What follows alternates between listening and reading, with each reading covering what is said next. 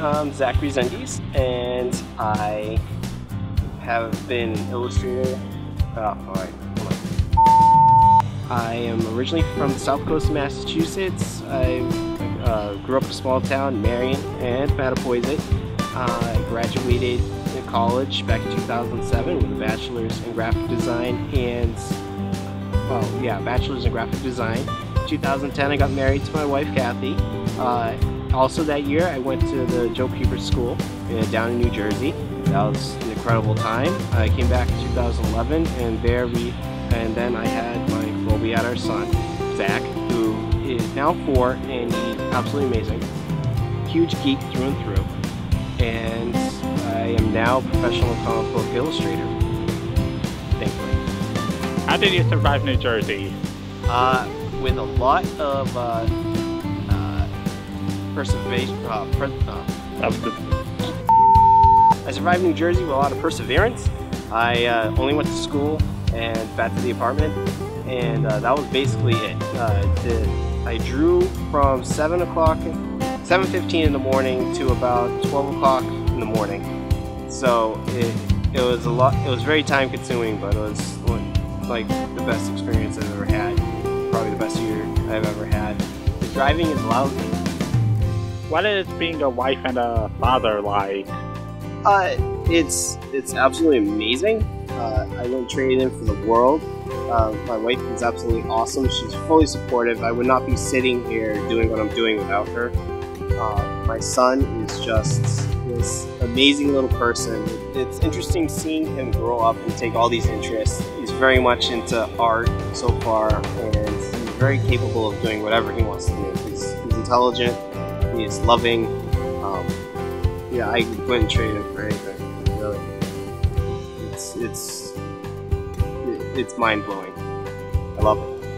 Well, the Ninja Turtles basically to me, uh, they help set my life, uh, both uh, artistically and uh, as a person.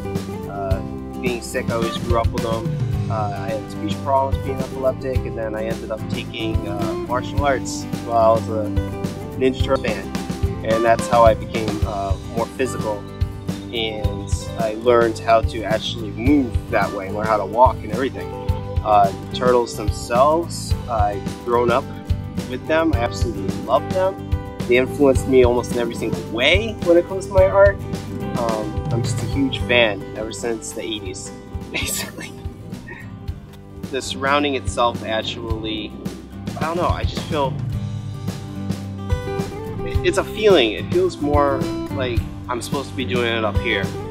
You know, it, it's I can't really describe it other than that.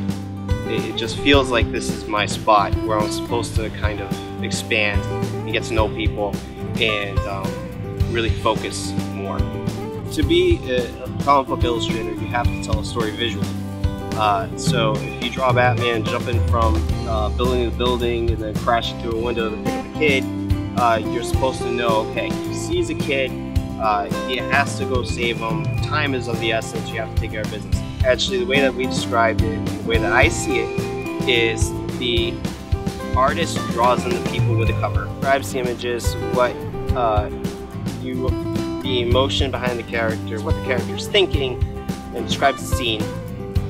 It's the artist's job to actually make the scene. So the artist is the costume designer, the set designer, the uh, the makeup artist, uh, everything visually. We are the directors, and the writer is the writer, and it's all the inner monologue uh, that keeps the reader there is what I find is the writer's part to help make things flow from one page to the next.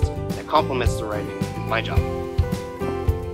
So that that's basically a long answer. So, how does living with a disability impact your work? Um, well, right off the bat, when I was in high school and junior high, I was always getting sick, so uh, having seizures all the time. So I was able to draw, uh, like, I think I was drawing like 14 hours a day, every day. And so I got to hone my skills that way.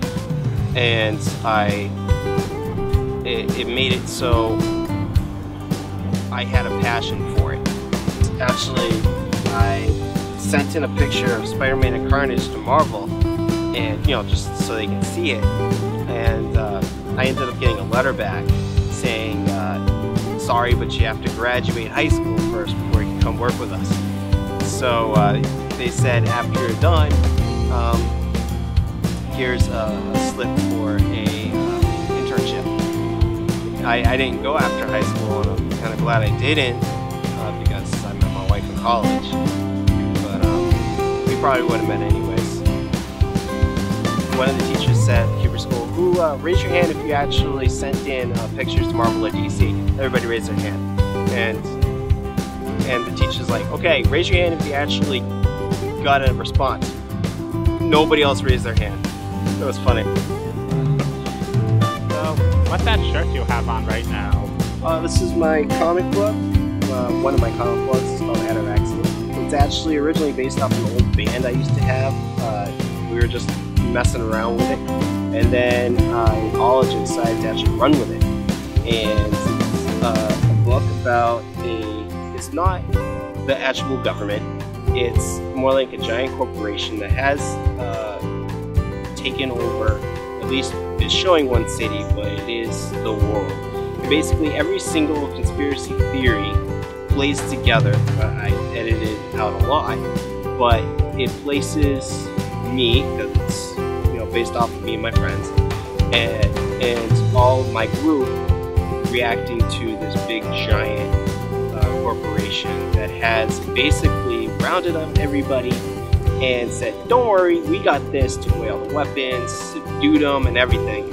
And then now it's all uh, it's it's completely overthrown. And now this small band of people, us, is now trying to open up the eyes of everybody. This is also going to lead into a, another comic book, which is also based off of a true story. Well, based off an actual person. Uh, his name was Tim he served two tours in Iraq. He was a personal friend of my writer. Uh, and he served two tours and he came back and died in a motorcycle accident. So he was also a very big comic book geek and he wanted to be part of the comic. And so my writer wrote him in and it's going to deal with the Greek mythology because he's totally into that. You know, Tim was as well, so we're gonna play off of that. Will we ever see a comic book movie win uh, an Oscar for Best Picture?